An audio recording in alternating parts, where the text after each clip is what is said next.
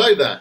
I'm very pleased to be back in the Signalwire podcast studio with my good friend and colleague Kevin. How are you doing today, Kevin? Great, Dave. How are you doing? Pretty good. Very pleased to be here with you because every time we get together, it's to talk about one of your code snippets. And those are the amazing things that you've put together where you've got real life working code and you're giving it away for free. You're putting it out there so that people can go ahead and either use it as it is or build on top of it or, you know, just do with it what they will. And that, that's a great thing. What are we going to be looking at today, Kevin? Uh, well, today we packaged a IVR demo for you. So basically, that's an interactive voice response. Um, you know, these can be very complex and cumbersome to build and maintain. So we tried to simplify it on the SignalWire platform by setting it up so you can modify a, a basic JSON file with all your menu trees in it, and it'll dynamically link them together. That's a great idea because I know traditionally, from a developer's point of view, not necessarily a user, but from a developer's point of view, these things can be a little bit cumbersome and not very easily uh, made flexible. And yet it sounds like you've pulled off some flexibility there. So why don't you talk us through that, please? Sure. Um, I'm going to jump right over to my screen right now, and we'll go through the general setup. Um, basically, this snippet, when you go to get it, it's called Snippets Simple Dynamic IVR. Um, basically, it's going to show you how to implement a dynamic voice response menu. Um, so what you're going to need, this is built off of Python. So you're going to need Python environment, a SignalWire SDK, uh, SignalWire phone number that's provisioned. We have some uh, links and demos on how to do that as well on the signalwire.com.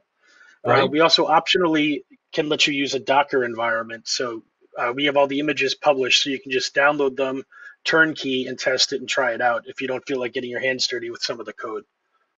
Um, awesome. So just to give you a, just to give you a little heads up as to the methods and the endpoints that are here. Um, this app has basically two endpoints exposed uh, as for the uh, number to hook against. Uh, we have get menu, and get menu basically it will default to the main menu if you don't specify one, and I'll show you in the code exactly how that works. Right. Um, and it also, when you press a menu option or you select from that menu, if a parameter is presented to it, it will generate or navigate against the action, which I'll get into in a little bit. The other endpoint is get voicemail, and this is just a fictitious Rainbow voice response set up just to simulate a transfer to an endpoint. Um, okay. So the first part, the first part, David, what we're going to have people do is go into the menus.json file, and this is basically the structure for how the menu trees are built. So if you see here, we have a tree called main, yeah, a tree called sales, yeah. and a tree called tech. Um, you know, right now it's set up for text to speech, but we could expand this to also accept, you know, files for play if you want to do an audio uh, menu, or, right. or, whatever, or whatever you might prefer in your case or use case. Um, so basically, the main menu here has two options under it, and each option, this is the key you would press, or and it's also the index in the tree. So these, it's holding the spot. You have a verbiage and an action. So this is the menu number that would be pressed. This is the verbiage that is spoken. And this is the desired action if someone pushes the key. Uh, so right now we have action get menu, menu equals sales, which when you go back to the menu again, when it requests it, it's going to jump to the sales menu and it would read this one to you. Okay. Um, now I'm going to show you the environment file uh, setup. It's going to uh, basically include your SignalWire space your SignalWire project and your SignalWire token, uh, your provisioned phone number, and your host name. Um, the host name is important um, for relative URLs uh, when, when you're making requests in from the code. So if you have a file hosted or um, you have a, a, path that you want handled a certain way, or when you're doing in your actions, you need to have that reference correctly. Okay. Um, for, for the Docker environment, we have some simple commands and instructions to get going on here. You could also run it native, natively, and we have all the documentation you'll need as well. Um, so let's take a look at the actual, yeah. So let's take a look at the actual code here. It's uh, all commented out for you guys, so you guys can see exactly what's going on. Um, here's the get menu that we were just talking about, which accepts the request for get menu from a getter or a post.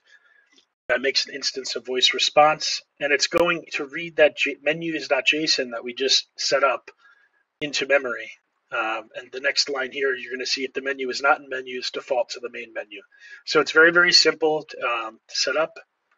And here we have it looking for a DTMF input. So if someone pushed a digit, um, it'll automatically route to the action. So it's it's uh, it allows you to build some pretty complicated things with literally, I think, what is this, 20, 30 lines of code? It's not not that much. Um, there you have That's it. a great, uh, a great uh, way to do it, Kevin. I'm sure people are going to appreciate that flexibility and been able to kind of put the JSON thing in there. I noticed that you'd, sorry, the JSON structure. I noticed you'd got um, two sort of top level menu options, and then each subsequent menu had also got two options. Is there any limit on the number of options in there? No, you can make that tree as large or small as you wish.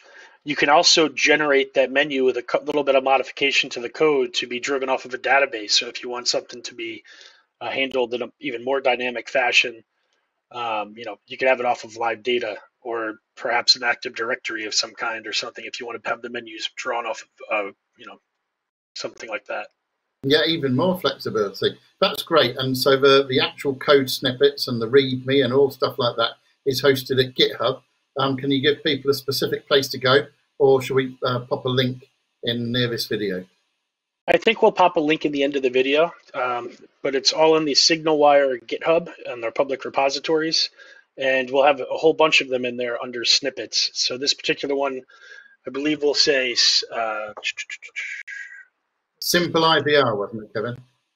Yes, this one will this one will be under snippets, simple dynamic IVR. Simple dynamic IVR. That's great. Okay, well, thanks for dropping by and coming in to tell us about that, and uh, we'll look forward to the next one. No problem. And if anyone has any questions, just reach out on Slack or email us, and we're more than happy to help you out. Great stuff. Thanks a lot, Kevin. All the best.